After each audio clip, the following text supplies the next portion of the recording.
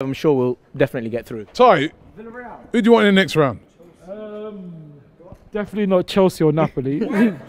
um, Slavia, maybe, maybe Slavia Prague, without trying to disrespect them. Slavia Prague. Yeah, I've the name. You, you don't do away days, blood. I, I'm not trying to go Czech Republic, G. I would do away days if I could afford it. You know, I'd, I'd love to be there, but boy, Chelsea and Napoli will be the hardest. You know what? I want So- Chelsea. I want Chelsea. I want Slavia London Prague. tie. It'll be good. I don't want Chelsea. That'd be a hard time. You could That'd be reckon. Villarreal.